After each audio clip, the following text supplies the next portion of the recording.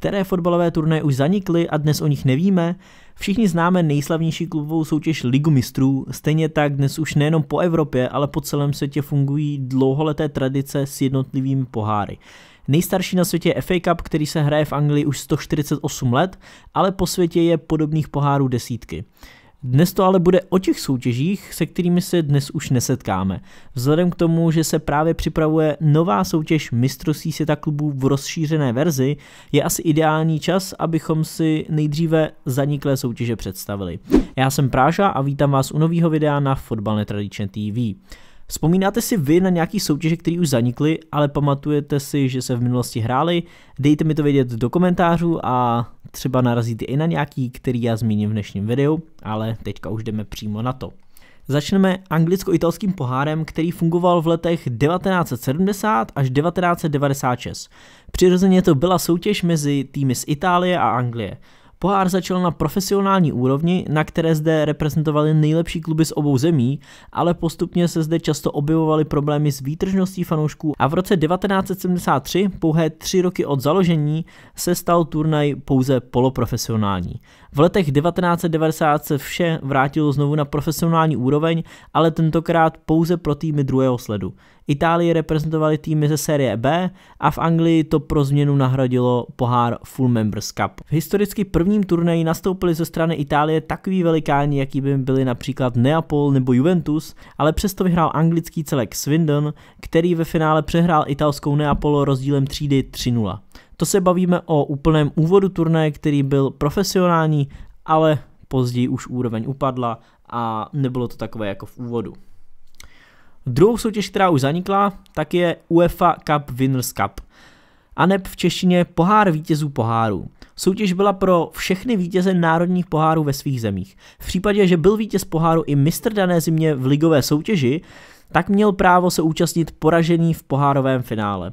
Turnaj se hrál vyřazovacím systémem stejně jako v lize mistrů na jeden domácí a jeden venkovní zápas. Finále se hrálo vždy na předem určeném neutrálním místě a pouze jedno utkání. Takže jenom pro jednoduché vysvětlení, který tým se dostanou, zkrátka vítěz poháru, ale aby to nebylo úplně pro ty nejlepší týmy na světě a nech, tak nikdo nechtěl, aby tam byly vítězové dané ligy, to znamená v momentě, kdy klub vyhrál double, jak pohár, tak i ligu, tak tam šel ten, kdo ve finále poháru prohrál. Zkrátka to bylo pro ty týmy, kteří se probojovali v poháru. Skvělé oproti lize mistrů bylo, že se jednalo pouze o vyřazovací část, takže jsme přeskočili nudné skupiny a rovnou se přešlo do vyřazovací fáze. Nejúspěšnějším klubem v této soutěži byla Barcelona, která ho vyhrála čtyřikrát. Poté, co se však rozšířila popularita ligy mistrů, ve které nastupovaly ty úplně nejlepší kluby na světě, tak zájem o pohár vítězů poháru neustále klesal, až se soutěž úplně zrušila. Afro-Asian Cup of Nations – a jak můžeme vidět podle názvu, jedná se o turnaj mezi reprezentacemi z Afriky a Ázie. První ročník byl v roce 1978, ale turnaj se ani nedokončil kvůli politickým problémům v Iránu. Kromě prvního ročníku byl zrušen také turnaj v roce 1989. Následně turnaj v roce 1997 byl přesunut na rok 1999, což znamenalo, že ročník 1999 byl zrušený a stejně tak tomu bylo také v roce 2005, kdy se znovu nehrálo. Můžeme tedy vidět, že zrušeny byly ročníky v letech 1989, 97, 99 a 2005. Nejúspěšnějším státem je Japonsko se dvěmi vítězstvími a žádný jiný stát nevyhrál afroazijský pohár více než jednou. Takže Japonsku stačilo vyhrát dvakrát, aby byli nejčastější vítěz a nejúspěšnější zemi, nebo nejúspěšnější zemí v tomhle turnaji.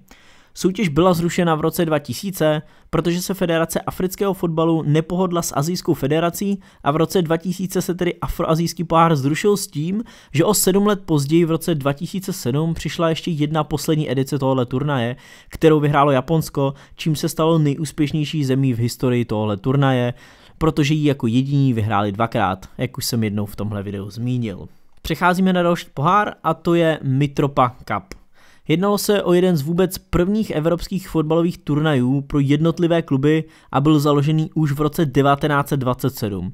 Po druhé světové válce v roce 1951 se turnaj přejmenoval na Zentropa Cup, Název se však změnil pouze na jednu sezónu a poté se zpátky vrátil k Mitropa Cupu. aby se o 6 let později název znovu měnil, tentokrát na Danube Cup. Turné se postupně účastnila celá Evropa, kromě britských týmů a v tehdejší době to byla největší klubová soutěž v Evropě. Nejúspěšnějším klubem v této soutěži byl maďarský Vasas, který vyhrál šestkrát, ale co je pro nás důležitější, tak druhým nejúspěšnějším klubem v historii je pražská Sparta se čtyřmi tituly. Dokonce vyhráli úplně první ročník této soutěže v roce 1927, když úplně začínala tak hned ten úvodní ročník Sparta vyhrála. Být druhým nejúspěšnějším klubem v historii takhle velké evropské soutěže je obrovský úspěch, zvlášť pro takhle malou zemi, jakou je Česká republika. To je fantastický umístění a i proto bychom na tenhle turnaj neměli zapomínat, respektive já jsem o něm slyšel poprvé a myslím si, že většina z vás, kteří budou tohle video sledovat, o něm slyšeli poprvé. Takže je dobrý si o podobných úspěších říkat, více informací, abychom věděli, jakou váhu měly naše kluby v dávné historii a jak moc byly v Evropě vážení. Turnaj se zrušil v roce 1992, kdy se zrodila dnes už více než známá Liga mistrů. Takže je přirozený, že se prostě tenhle turnaj zrušil, ale minimálně velká zajímavost, že český klub se dostal v takhle vážné soutěži z dlouhodobého hlediska takhle vysoko. Samozřejmě v těch posledních letech už tak úspěšný nebyli, jo, je to více jak 30 let od zrušení toho turnaje, kdy Sparta naposledy vyhrála, respektive turnaj se zrušil 1992 a Sparta vyhrála naposledy 1960. Jo, takže vidíme, že je to více než 30 let a až potom došlo ke zrušení. Takže byli úspěšní především v první polovině, ale to nic nemění na tom, že i tak to považuji za obrovský úspěch pro český fotbal, respektive pro československý fotbal. No, máme tady předposlední soutěž a tohle je první soutěž v dnešním videu, která nebyla profesionální, ale jednalo se o exibiční, přesto populární turnaj. Mohli zde nastoupit bývalí fotbalisté, kteří byli starší než 35 let. Zkrátka se jednalo o bývalé legendy. Zápasy se hrály jednak v hale 6 na 6, ale zároveň také normálně venku klasický 11 na 11. Turné se hrály po celém světě, přes Evropu, Ázii, Afriku a pro se obrovský počet států. Turné se zúčastnili takové legendy jako Paul Scholes, Robert Pires, Gianfranco Zola, Michael Owen, Andy Cole, Brian Robson a nebo v rolích manažerů Sir Alex Ferguson či Arsene Wenger. Takže opravdu se jednalo o ty obrovské legendy primárně z britských ostrovů, respektive z britské Premier League. Celkem se zúčastnilo přes 2000 fotbalistů a zápasy se vysílaly živě na Sky Sports.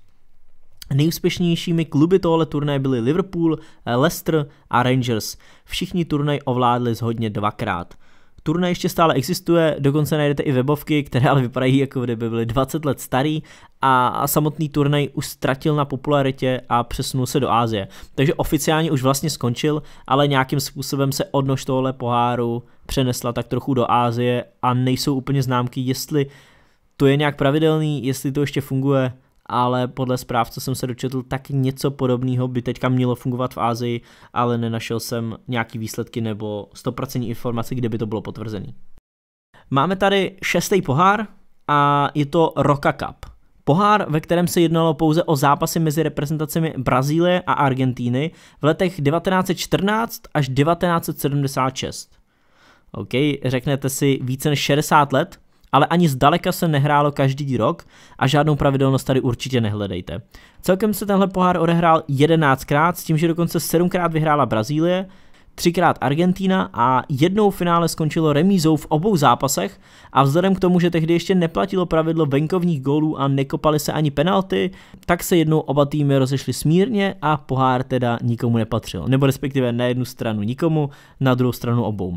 Neexistuje žádný oficiální důvod, proč se Roka Cup zrušil, ale přirozeně se nabízí nárůst zápasů pro fotbalisty a turné jako je mistrovství světa nebo Copa Amerika, takže na tenhle pohár už nezbyl prostor, přestože oficiálně ukončený nikdy nebyl. Zajímavé je, že první dva starty pro legendárního Pelého v dresu Brazílie byly právě v Roka Cupu.